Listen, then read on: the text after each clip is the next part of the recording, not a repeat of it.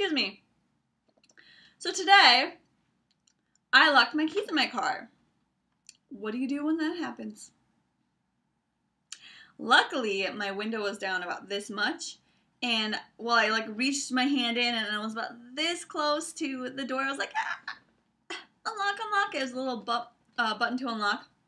And then there were some little kids. I was like, "Hey, come over here. Can you unlock this?" So they tried, and they they got weren't didn't even fit any closer. So I took my hand and really shoved it in. Gave myself a really ouchy bruise right here. It might turn colors later, but right now I can't tell. But it just really hurts, really hard. Pried it open. Got my keys. But the real solution when you lock your keys in the car to not do it again is to find a way to solve that. So when I locked my keys in my car, it was just this. And I keep losing these, and I'm like, where do I put them? Where put them? Because it's just one key and a little button thing.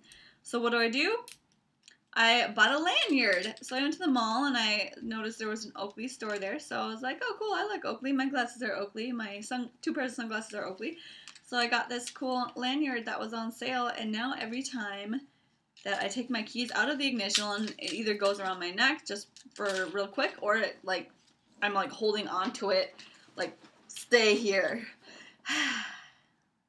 so yeah, that's how I figured out how to solve the problem of locking my keys ever again in my car because I don't have a spare one. If I get like locked out here, I have to call somebody and pay them to jimmy my car door open. So I don't want that to happen. Um, second thing that I did today is I went out to eat at a sushi place just to try it out. It was like I just got a couple California rolls. It was no big thing. It was it's kind of weird because they're like, "How many in your party?" And I'm like, "You're looking at her." So it's just by myself. So I just stay there just to order some sushi, eat it, and go. But I I put my purse, this bag, not my purse, but my bag right here, on the back of the chair like this, and then I left without it, and I didn't realize until maybe like three or four hours later because I had um, my little clutch and I had my cell phone, so I was like, yeah, I'm good. And but I left this there, and I realized when I got back to my hotel room, and this was like 8:30, so I'm like, oh, I gotta go to bed soon because I want to wake up for 6 a.m. class. But I left it there, so I had to go back. But luckily, traffic's really not bad at like 8:30, 9 o'clock. It's like boop, boop. It's like seven miles or eight miles there, eight miles back. It wasn't a big deal, and all I had was my yoga stuff, some underwear, glasses, some deodorant. Nothing really like super important in here, but yeah. So those uh, are two things. And how do I avoid doing that? I don't know. Like I not bring that in to restaurants. Just bring this in and not forget it. That's all I got.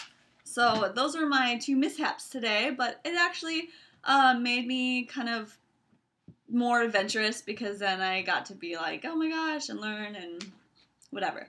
So, anyway, tip for not leaving your keys anywhere is buy a lanyard, at least if you're going on vacation, and then, uh, or bring a second key. Leave it in your hotel room, leave it somewhere so you have it. And then um, don't leave your purse places. But if you do, just call them and be like, hey, how lady you open? And I'm going to come and get it. And they're really, usually really nice. So, not a big deal.